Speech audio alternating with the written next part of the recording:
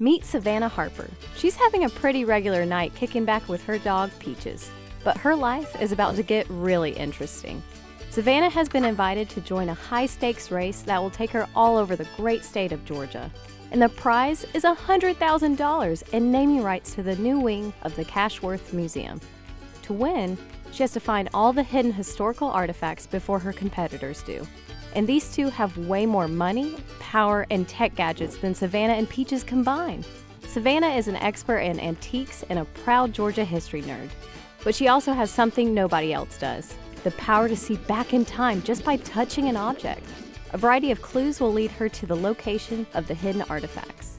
Here, Savannah's knowledge of Georgia history will be pushed to the limit by the museum director's uniquely furry assistant, Honey. Can she separate fact from fiction? How sharp is her memory? Who are these mysterious historical figures? Can she predict the effects of these important Georgia events?